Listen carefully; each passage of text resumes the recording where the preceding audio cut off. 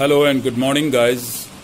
Welcome to my YouTube channel helpline English once again पिछली दो videos में हमने बात की थी प्रेजेंट इंडेफिनिट टेंस के क्वेश्चंस की और एफर्मेटिव सेंटेंसेस की। मतलब एफर्मेटिव यानी कि पॉजिटिव सकारात्मक और इंटरोगेटिव यानी कि प्रश्नवाचक। आज हम बात करेंगे नेगेटिव सेंटेंसेस की। नेगेटिव का मतलब होता है नकारात्मक मना करने वाले। कौन क्या नहीं करता है? वो मुझे नहीं जानता है।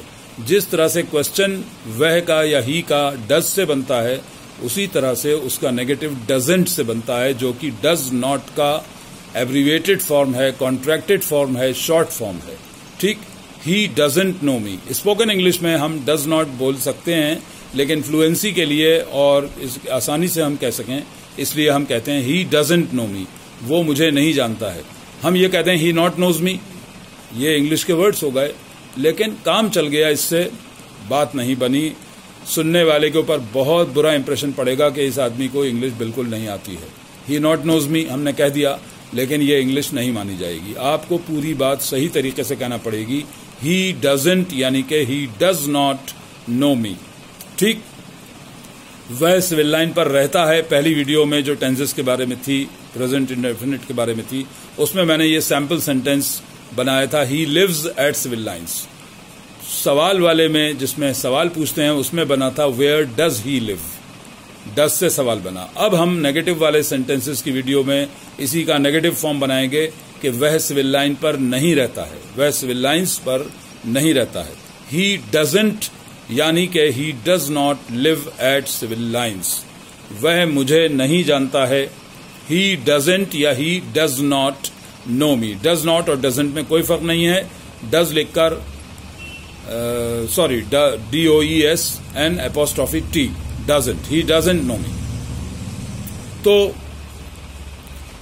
डजेंट जो है वो डज नॉट का शॉर्ट फॉर्म है. जब भी हम नेगेटिव बनाएँगे first second third person sorry सिर्फ़ थर्ड पर्सन का ही शी और इट का तो हम डजेंट से मना करेंगे. लेकिन जब हम फ़र्स्ट पर्सन और सेकंड पर्सन की बात करेंगे या थर्ड पर्सन प्लूरल की बात करेंगे, बहुवचन की बात करेंगे, जो एक से ज़्यादा होंगे तो हम काहे से मना करेंगे? बिल्कुल सही पहचाना आपने। उसको हम मना करेंगे don't say. I don't know him मैं उसको नहीं जानता हूँ। फिर देखिए कंपेयर करिए, तुलना करिए। ही डजेंट नो मी वह मुझे नहीं जानता है।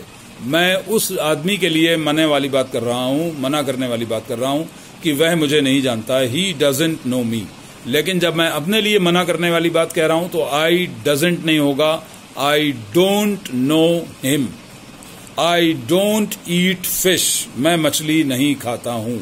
आई डोंट स्पीक जैपनीज मैं जैपनीज नहीं बोलता हूँ.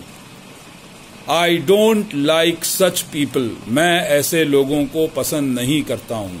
I don't eat ice cream मैं आइसक्रीम नहीं खाता हूँ.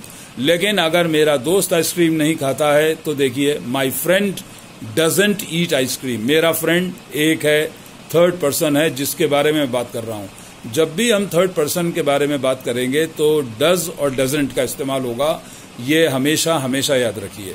क्वेश्चन करेंगे तो डज होगा, मना करेंगे तो डजेंट होगा। लेकिन जब सेंटेंस बनाएँगे पॉजिटिव या एफर्मेटिव तो उसमें ना डज होगा और न डजेंट होगा।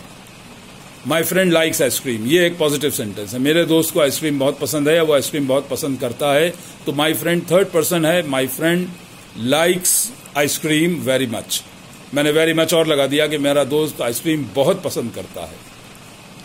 Your brother looks like you बताइए क्या मतलब हुआ? Your brother looks like you तुम्हारा भाई तुम्हारी तरह लगता है. हमेशा ही लगता है. क्योंकि प्रेजेंट इंडेफिनिट टेंस में हम बातें ही वही करते हैं जो हमेशा होती हैं। ही डजेंट ईट वेल मैं डॉक्टर को अपने किसी बच्चे या अपने भाई या अपने दोस्त के बारे में बता रहा हूँ कि डॉक्टर साहब, ये अच्छी तरह खाता नहीं है। नहीं खाता है। तो ही क्योंकि थर्ड पर्सन है तो ही डोंट नहीं होगा। ही डजेंट होगा, लेकिन आजकल की अमेरिकन इन्फ्लुएंस की वजह से ही के साथ लोग डोंट भी यूज़ कर लेते हैं। ब्रिटिश इंग्लिश में, जिसका हमारे यहाँ रिवाज है, हिंदुस्तान में, भारत में भारतवर्ष में। उसमें ही शी और इट के साथ मना किया जाता है डजेंट से। लेकिन मैं कॉमिक्स में और मूवीज़ में अक्सर देखता हूँ कि अमेरिकन इंग्लिश में ही डोंट भी बोल दिया जाता है। अब ये पता नहीं वहाँ सही माना जाता है, मुझे नहीं लगता कि सही ये भी माना जाता है। बस एक स्लैंगी इंग्लिश में स्पोकन इंग्लिश में शायद वहाँ इसका रिवाज है, या हम लोग क्योंकि कॉपी जल्दी कर लेते हैं तो हमने फ़ौरन सब छोड़, चार हमने कहा, भाई और कोई काम करें, ना करें, रात का खाना खाएँ या सुबह नाश्ता करें, ना करें, लेकिन सबसे पहला काम ही के साथ डोंट लगा दें। तो हम जल्दी इन चीज़ों को कॉपी कर लेते हैं बिना सोचे समझे। ही के साथ डजेंट आएगा। He doesn't know me he doesn't live in Rampur वह रामपुर में नहीं रहता है। लेकिन मैं रामपुर में नहीं रहता हूँ, क्या बनेगा? ध्यान करिए I don't live in Rampur I के साथ वी के साथ वी डोंट टीच मैथ्स हम लोग मैथ्स नहीं पढ़ाते हैं, हम किसी और सब्जेक्ट के टीचर हैं। तो वी मतलब हम लोग। वी दो भी हो सकते हैं, तीन भी हो सकते हैं, चार भी हो सकते हैं। दे का मतलब बहुत सारे। वे बहुत सारे लोग जो एक से अधिक हैं, बहुवचन में हैं, लेकिन थर्ड पर्सन हैं, जिनके बारे में मैं बात कर रहा हूँ, जो सामने बैठे हैं या कहीं और हैं, किसी और शहर में हैं, किसी और जगह हैं। थर्ड पर्सन हमेशा वो होता है जिसके बारे में हम बात करते हैं।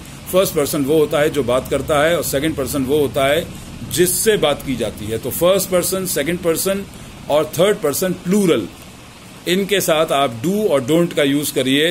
डू क्वेश्चन बनाने के लिए डोंट मना करने के लिए।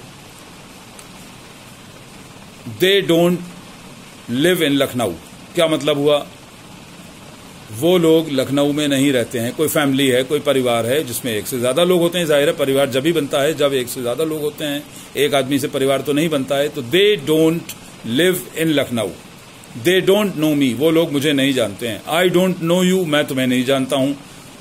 And we don't know each other हम लोग क्लास में हैं, पहले दिन आए हैं, सारे स्टूडेंट्स वो कह रहे हैं we don't know each other हम लोग एक दूसरे को नहीं जानते हैं, जितने भी हम लोग क्लास में हैं। लेकिन मैं किसी particular person third person singular की बात करूँ, एक वचन की तो मैं कहूँ mister Vikas Sharma doesn't know me श्रीमान विकास शर्मा मुझे नहीं जानते हैं। जानता है का रूल अप्लाई होगा, लेकिन हम बोलेंगे नहीं ऐसे। ये सम्मानजनक शब्द है कि वो मुझे नहीं जानते हैं तो वो का मतलब एक ही आदमी है, एक दर्जन आदमियों की बात नहीं कर रहा हूँ। तो मिस्टर विकास शर्मा मुझे नहीं जानते हैं, हम ये नहीं कहते मिस्टर विकास शर्मा को रिक्शा वाला थोड़ी है, मेरा कॉलीग है। तो mister Vikas Sharma doesn't know me बोलने में तो वही हम अंदाज़ा लगाएँगे कि नहीं जानता है, लेकिन जब हम बात करेंगे तो हम कहेंगे, मिस्टर विकास शर्मा मुझे नहीं जानते हैं।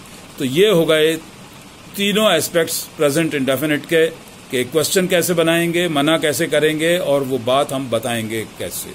I hope you remember these rules मैं उम्मीद करता हूँ कि आप लोग ये रूल्स याद रखेंगे, ये आपके बहुत काम आएँगे। इस वीडियो को आप, जब आपको लगे कि आप भूल रहे हैं, एक बार फिर देख लीजिए, ज़्यादा लंबी वीडियो नहीं है। सात सॉरी लगभग आठ मिनट की है। आराम से देख सकते हैं, भागते, दौड़ते भी देख सकते हैं। लेकिन इसको मेरे चैनल को सब्सक्राइब करना, लाइक करना और शेयर करना बिल्कुल ना भूलें, क्योंकि यही मेरे लिए आगे का रास्ता तय करेगा कि मैं लोगों तक कितना पहुँच रहा हूँ, कैसे पहुँच रहा हूँ, उनको कुछ फ़ायदा हो रहा है या नहीं हो रहा है। मुझे आपका फीडबैक आपके कमेंट्स का इंतज़ार रहेगा। कोई मुश्किल हो, कोई प्रॉब्लम हो, कोई परेशानी हो तो भी मुझे आप कमेंट बॉक्स में लिख के भेज सकते हैं। मुझे इंतज़ार रहेगा। That's it and that's all for today and see you all in my next video about a new tense right So thank you all for watching my video but don't forget to subscribe share and like my channel YouTube पर जो है Helpline English. Don't forget to subscribe, like and share it. Thank you all very much and see you all in my next video. All the best. Goodbye.